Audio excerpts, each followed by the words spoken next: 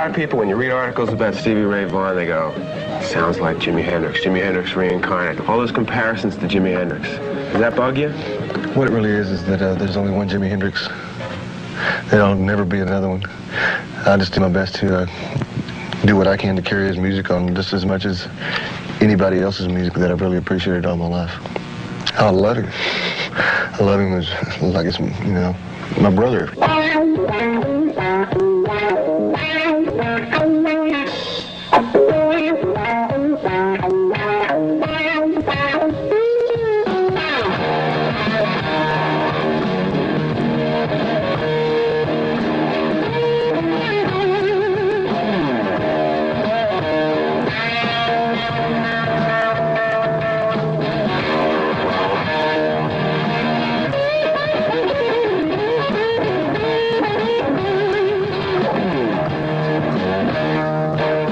You've recorded your own version of Voodoo Child, but you never got to see him play, did you? No, you know, had a few dreams.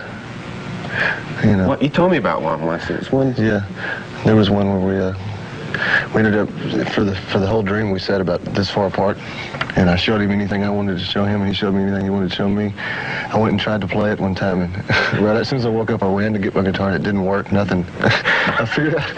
I finally figured out a few a few months later that uh, if it had been that easy, I wouldn't have learned anything.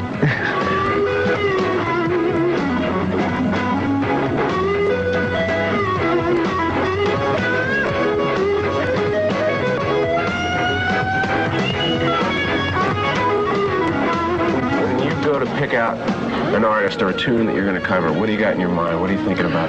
Oh, I just like the song. I like the way it feels, and it feels good to play it, so I go ahead. Nothing about maybe wanting to, to uh, awaken America to an artist that you like? Well, yeah, yeah, but it's the music that counts.